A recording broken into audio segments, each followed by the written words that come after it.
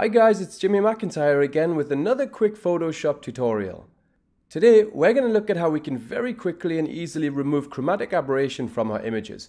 In this photo, as we can see, we have a lot of chromatic aberration along the ridge here. Before we begin, I've created a free action for my newsletter subscribers, which will do all of this for you, and I'll show you how quickly it works. If we just click on the action, and we have a paintbrush automatically selected, and we can just paint out the chromatic aberration and we can lower the opacity of the layer until it looks nice and natural. And that's how quickly we can remove chromatic aberration.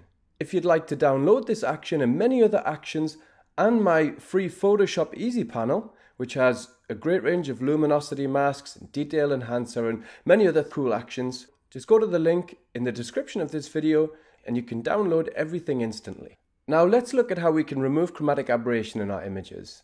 Firstly, I'll close the Easy panel and I'm going to send this to the trash. Next, I'm just going to duplicate this layer by holding Control and J or Command and J.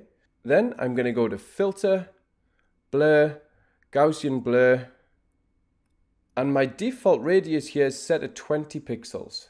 If you're working with smaller images and the chromatic aberration isn't too strong, then you can work with a smaller radius of maybe 5 and 10. Just experiment to see what works for you. Now once we're ready, we just press OK and we go to the blend mode of this layer and we choose color. And as we can see, we've now removed the chromatic aberration, but we've also affected the color in the sky and in other areas as well. So I hold Alt or Option on a Mac and I click the Add a Mask icon and I create a black layer mask, which makes this layer invisible. Then, with the paintbrush selected and the foreground set to white, I just paint out the chromatic aberration. And as I mentioned earlier, we can just lower the opacity until it looks natural. And that's it. Here's the before and after. So that's a quick and easy way of removing chromatic aberration from your images. I hope you've enjoyed the tutorial, and for more tutorials, feel free to subscribe to my YouTube channel.